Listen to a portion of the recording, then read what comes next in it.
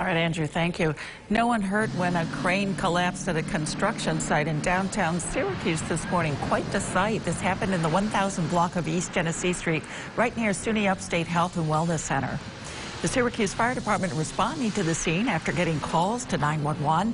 Part of the crane that collapsed did not hit any buildings. It landed in a construction area away from people. Even though it didn't hit anything, it will take some time to clean up the mess and there's no risk.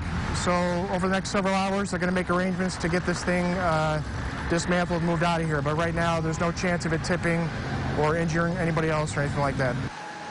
Oh, that's good. Well, it happened when the crane was offloading a small load of steel from a uh, flatbed truck.